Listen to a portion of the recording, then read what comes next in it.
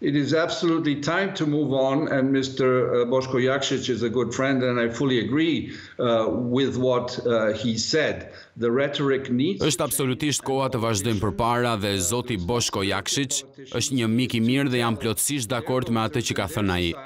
Retorika duhet të ndryshojë dhe politikanët, përgjegjësia e politikanëve është t'u tregojnë votuesve të tyre, shoqërisë së tyre, realitetin dhe jo të flasin për atë që është bërë dhe mund të ishte bërë nëse, duke përdorur lidhësen nëse, ç'mund të ishte bërë nëse diçka do të kishte ndodhur. Fatkeqësisht kanë ndodhur gjëra. Ka pasoja për këtë. Serbia e humbi luftën kundër NATO-s dhe ka pasoja kur humb një luftë. Njerëzit kështu duhet ta kenë arsyen për ta kuptuar kështu realitetin. Por ky është vetëm hapi i parë, pasi tregohet dhe pranohet realiteti, duhet të bëhet një lëvizje drejt kompromisit. Është komuniteti serb në Kosovë, është Kisha Ortodokse Serbe, shumica prej këtyre janë rregulluar, tashmë gjatë bisedave të Ahtisarit. E vërtetë.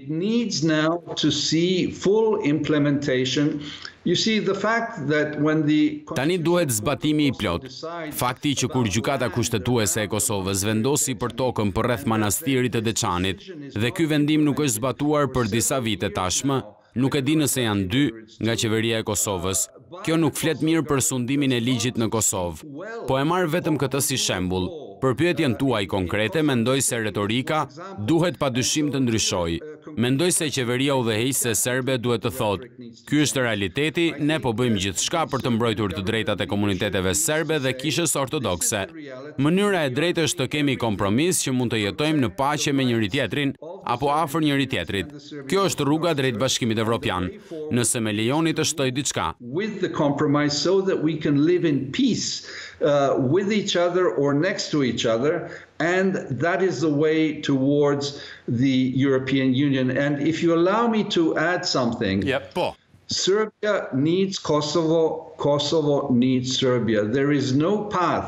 Serbia ka nevojë për Kosovën, Kosova ka nevojë për Serbinë. Serbia nuk ka rrugë drejt Bashkimit Evropian pa arritur në këtë kompromis dhe Kosova nga ana tjetër ka nevojë për Serbinë sepse nuk do të ketë vend në Kombet e Bashkuara një ditë pa arritur në këtë kompromis.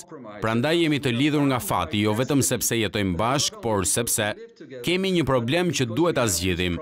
Nuk duhet të pretendojmë që historia të fillojë me ne ose të mund ta zgjidhim të vetëm